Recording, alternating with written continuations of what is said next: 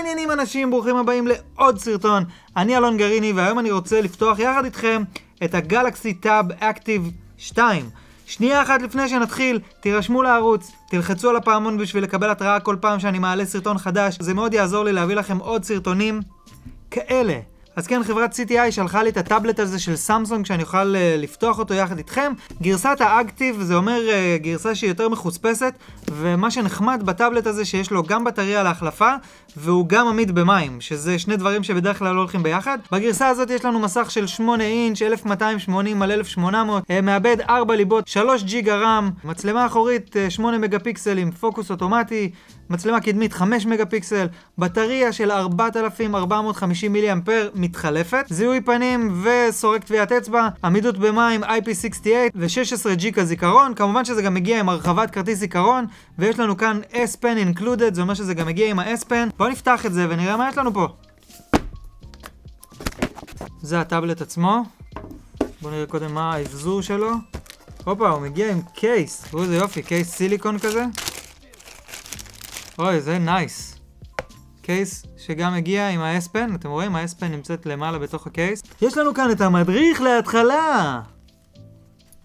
כבל USB ל-USB-C, שזה מעולה. החלק הזה, משתמשים בו בעצם להחליף את הצ'ופצ'יקים של ה-S-Pen, וזה גם מגיע עם כמה ראשים אקסטרה של העט, שאתה ככה, אם נהרס לך העט, אתה יכול בעצם להחליף ראש. אז כן, אלה הדברים היותר מעניינים שיש לנו בתוך הקופסה. בואו נראה מה שלום הטאבלט.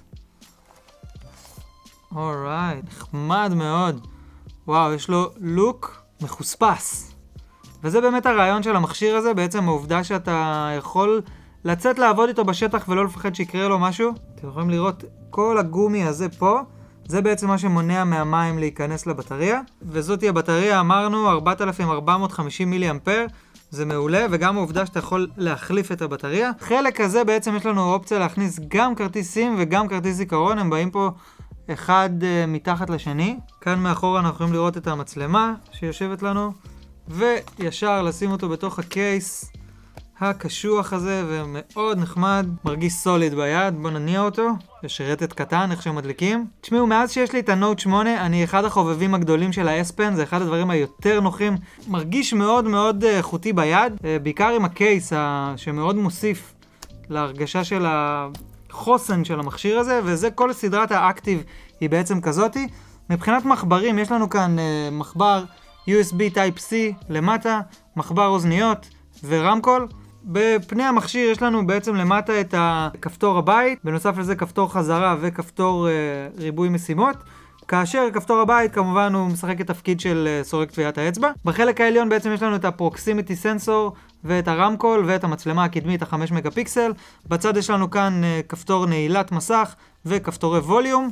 מאחורה, כמו שאמרנו, יש לנו את המצלמת 8 מגה פיקסל ופלאש, וכמובן את גב המכשיר שהוא מאוד אה, מחוספס. אפילו הרקע של המסך זה אותו רקע שיש לי בטלפון, זה נורא נחמד.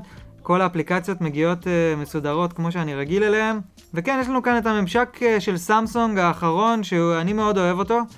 וכמובן, כמו שאמרנו, יש לנו כאן את ה-S Pen, מה שמגיע בעצם עם אה, כל האופציות של ה-S-Pen, שזה נורא נחמד, אני אישית כבר מכור לגמרי, אבל אני לא הייתי מתנגד אם הטאבלט הזה היה מגיע עם סנטר יותר קטן, בלי קצוות. בקטע הזה זה קצת מאכזב. ולסיכום, אנחנו מדברים כאן על מוצר שעולה 2,750 ש"ח. זה לא הכי זול, אבל עדיין יש לנו כאן טאבלט שיש לו גם 4G וגם uh, עמידות במים, והוא חזק, והוא עמיד, והוא מגיע עם עט, סטיילוס. בקיצור, אה, מכשיר מאוד מאוד מעניין. תכתבו לי בתגובות מה אתם חושבים על אה, הגלקסי הזה, מה אתם חושבים על טאבלטים בכלל, האם זה מוצר שמעניין אתכם ואתם תשתמשו בו. זה הכל היום חברים, תודה רבה שצפיתם, ונתראה בסרטון הבא. ביי!